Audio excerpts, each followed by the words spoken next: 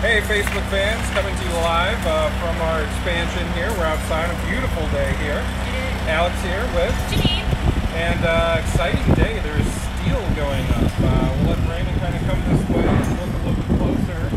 Uh, if we look down into the hole there where our expansion is going to be, you can see the steel beams going up. Uh, all of this just started going up this morning, and uh, this is getting in preparation for the precast uh, panels. Those are going to be going up on Friday. So tomorrow, the air handlers for the auditorium are going to be craned down into that basement, and then on Friday, the precast floor uh, goes in. So by end of day Friday, the entire first floor uh, will be in, which is crazy. So they are just flying along here, uh, and it's cool to see the steel start to go in today. And what's really interesting, so as you've been watching with the formation of our foundation, Poet, um, you don't really get a sense of where the first floor is. It seems really tall, so naturally you think, oh, it's at ground level. It's not. It's a little bit sunken, as you can see by those beams. They're going to be, the first floor will be sitting on top of those. So you can see it's really not as high as you think it would be.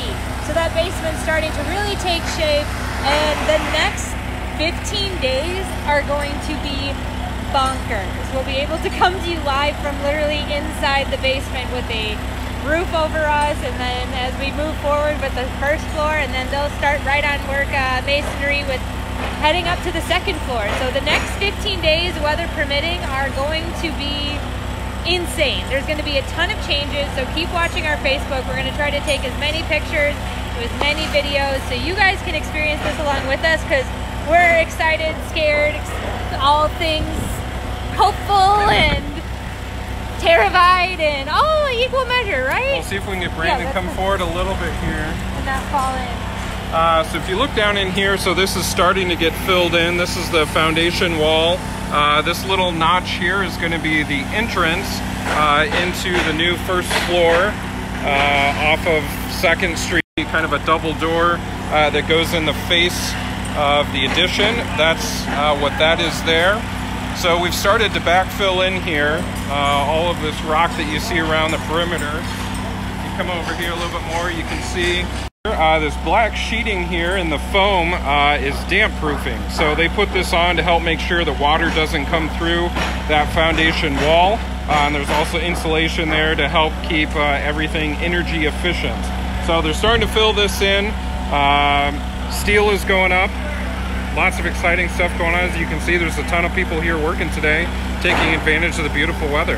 And what's also exciting talking about the height and kind of what might have in your mind and how it might differ. So those lights up top, that will be right about the top of the second floor when it's complete. It's not going all the way to the top of our balcony roof there. It'll actually be quite a bit shorter. Uh, this is because the balcony goes way higher up than our mezzanine second level. It goes way up high for those seats up in the upper left and right balcony. So to also kind of give you an idea of the visualization in your mind, you might have been thinking, oh, it's going away to the top. It's not. It's going to be just about where those lights are. So as you start to see this thing start to take more and more form, they're going to be like, why didn't they go all the way to the top? Because it's unnecessary uh, and it would match up better with our mezzanine level, which is really the public space outside of our balcony area. So you'll start to see that, like I said, the next 15 days really starting to take shape.